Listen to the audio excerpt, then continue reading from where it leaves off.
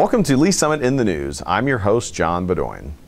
Local development continues its upswing as several new projects have gone vertical in Lee's Summit in recent weeks. Among them, the new price chopper at Todd George Marketplace is well underway, and several new stores in the strip mall continue their preparation for opening. John Knox Village is also seeing an uptick in new construction with the arrival of its Courtyard neighborhood, which will bring 52 new units of housing to the area off Murray Road. Citizens wishing to be involved in local government committees have an easy way to show their interest. The committee, boards, and commissions interest form is available online at cityofls.net for citizens to fill out and show their interest in being involved with one of the many mayoral appointed boards. Citizens wishing to serve can fill the online form and may be contacted once an opening on a particular board or committee comes open. For more information, call Lee Summit City Hall at 816 969 1000. And we'll be right back with more Lee's Summit in the news. Did you know the City of Lee's Summit has core values? One of our key core values is trustworthiness.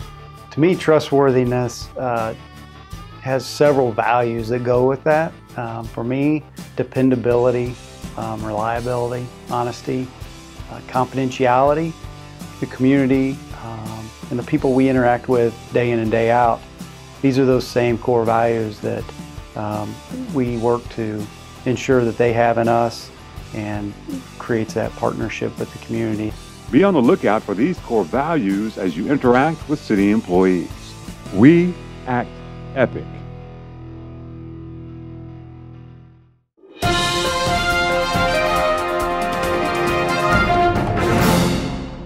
Welcome back to Lee Summit in the News. I'm your host, John Bedoin.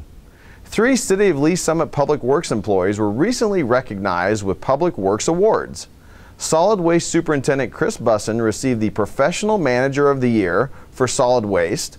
City Traffic Engineer Michael Park won the Professional Manager of the Year for Transportation. And Environmental Manager Kara Taylor won the Community Involvement Award.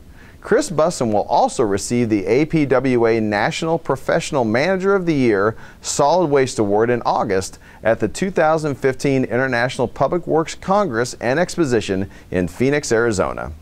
And finally today, District 1 City Council member Diane Forte is the newest Mayor Pro Tem, elected by her peers at a recent council meeting. Annually, the council elects this individual from among its members. According to the city charter, the mayor pro tem assumes the powers and duties of the mayor during the absence or disability of the mayor, or if a vacancy occurs.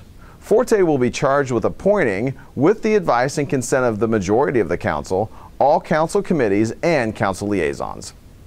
That's it for this week. I'm John Bedoin, and we'll see you next week on Lee Summit in the News.